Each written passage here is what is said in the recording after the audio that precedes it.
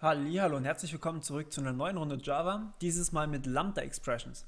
Ähm, diejenigen, die Haskell oder meine Lambda-Videos schon gesehen haben, die wissen genau, von was ich rede und genau diese Dinger gibt es jetzt auch in Java. Und die sind natürlich ziemlich praktisch, weil jeder, der schon mal funktional programmiert hat, der weiß das. Ähm, alle anderen, denen werde ich jetzt beweisen.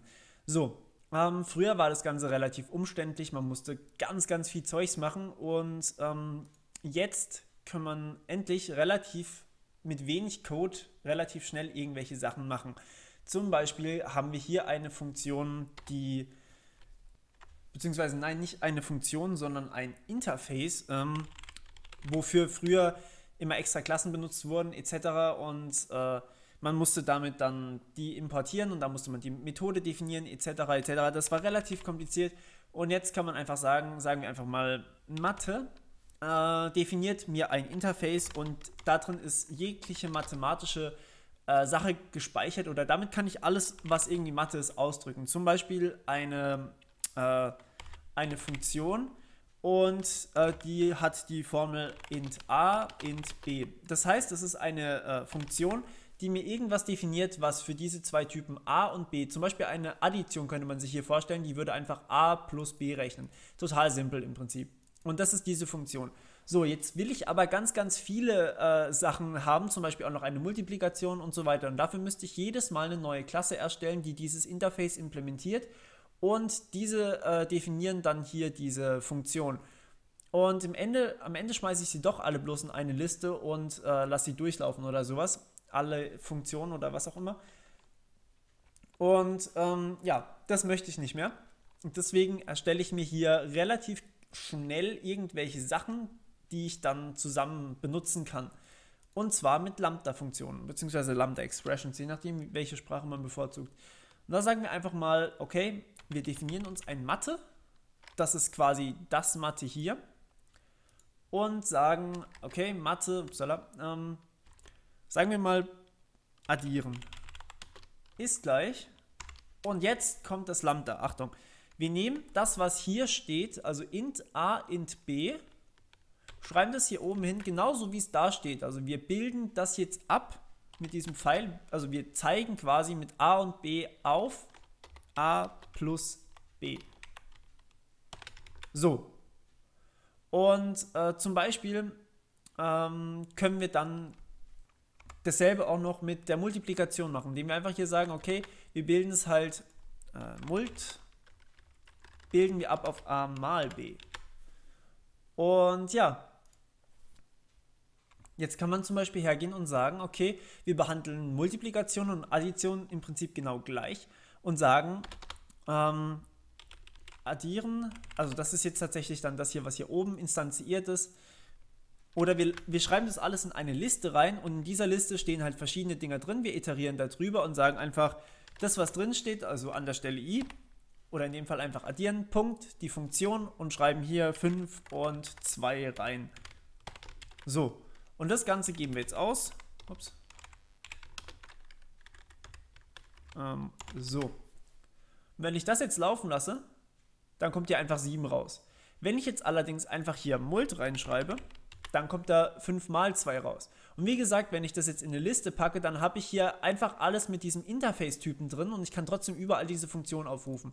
Und vorher hätte ich das jetzt überall noch äh, so umständlich und ja, keine Ahnung, ziemlich umständlich halt machen müssen, so geht es deutlich schneller.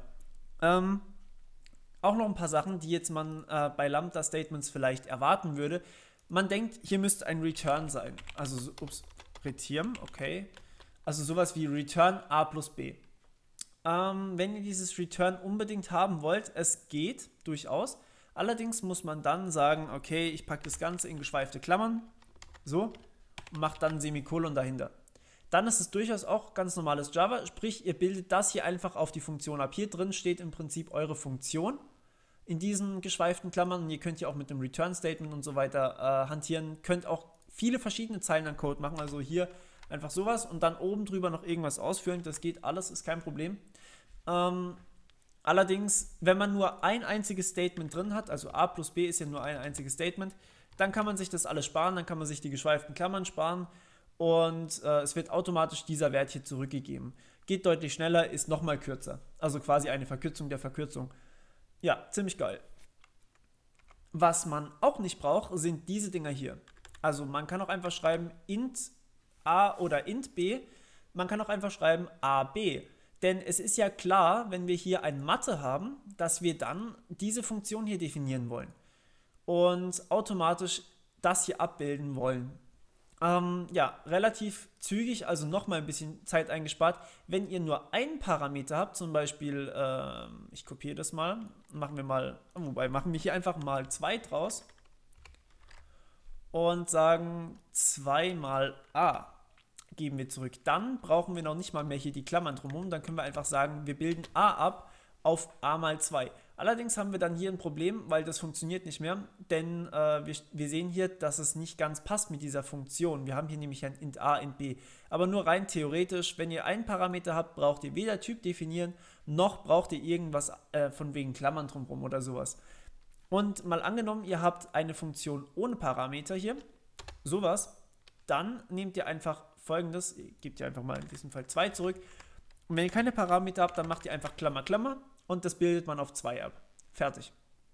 Das heißt, wir können hier einfach äh, keine Parameter, wir können einen Parameter, wir können beliebig viele Parameter haben. Und ich mache das mal alles zurück, damit es wieder einigermaßen Sinn macht. Ja, das muss passen. So, ähm, genau. Äh, wofür man das häufig benutzt, sind irgendwelche Event-Listener oder sowas. Denn da kann man einfach dann, also vorher war das immer ungefähr so eine Struktur. Man hatte ein Interface mit genau einer Funktion drin und äh, die war dann halt nochmal extra in der anderen Klasse importiert, äh, implementiert und so weiter und so fort. Und das kann man jetzt alles relativ easy so machen. Ähm, worauf ihr dringend achten müsst, ist, wenn ihr das Projekt erstellt, New Java Project, dass ihr dann hier Java SE 1.8 habt oder halt irgendwas höheres. Also 1.8 ist das Minimum dafür. Ähm, wenn ihr weniger als 1.8 habt, dann gibt es keine Lambda-Expressions. Die sind tatsächlich neu in 1.8. Gut, ja, das war's für heute auch schon wieder. Und ähm, ich hoffe, es hat euch gefallen und ihr wusst noch nicht alles, was ich euch erzählt habe. Und wir hören uns beim nächsten Mal. Bis dann. Ciao, ciao.